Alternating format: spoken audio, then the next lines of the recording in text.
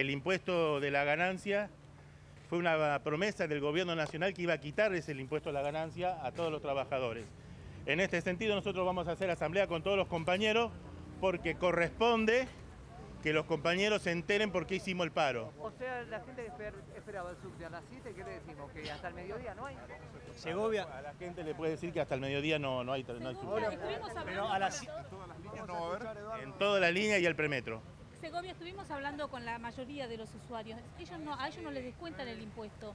O sea que los perjudicados que no pueden llegar a su trabajo son los que no tienen eh, que pagar ganancias. La responsabilidad lo tenemos nosotros los dirigentes, porque todos los trabajadores, todos los pasajeros tienen un poder adquisitivo que le robó este gobierno. Entonces lo que menos podemos pensar ahora es dividirnos el movimiento obrero.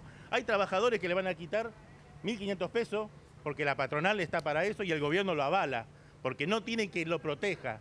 Entonces, hoy por hoy, creo que el gremialismo se tiene que poner los pantalones largos y a salir a decirle a este gobierno, basta que no quite plata en el gobierno. Segovia, desde la UTA dijeron que a las 7 iban a restablecer el servicio, exactamente. Sí, no, yo estuve conversando con algunos compañeros de la UTA, le explicamos nuestra situación.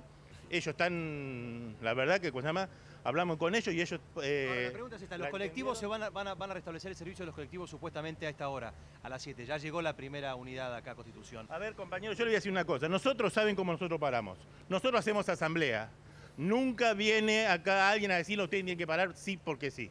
Entonces, nosotros vamos a hacer una asamblea, le vamos a explicar por qué paramos, porque muchos compañeros no saben por qué paramos. Entonces, entonces nosotros... El gobierno, ¿El gobierno va a escuchar este llamado de atención? El gobierno tiene que escuchar, que me dificulte que escuche, porque teniendo algunos compañeros gremialistas que coquetean con el gobierno, sabe que va a tener un semáforo verde para avanzar con todas las crisis.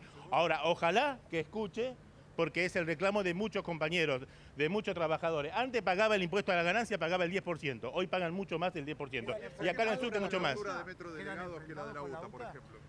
No, no tenemos postura distinta. En este, en este punto estamos de acuerdo todos, solamente eh, la única diferencia capaz es el modo de asamblea, nada más.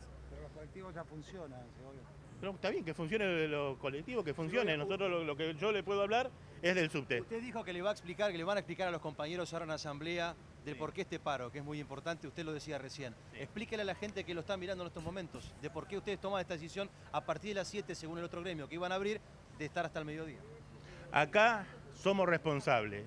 El gobierno de Macri, señores pasajeros, le dijo a la sociedad y hizo una campaña política a nivel nacional que no iba a quitar el impuesto a la ganancia. Le dijo que no, no iba a quitar el poder adquisitivo. Dijo que iba a caer millones de dólares en Argentina y que íbamos a estar bien. Nos cagó. Entonces nosotros esperamos y, aparte festejamos cuando un gremio sale a pelear. En esta parte estamos muy contentos con la Confederación de Transporte que hizo un paro y no le está temblando el, el- el pulso para coquetear con el gobierno.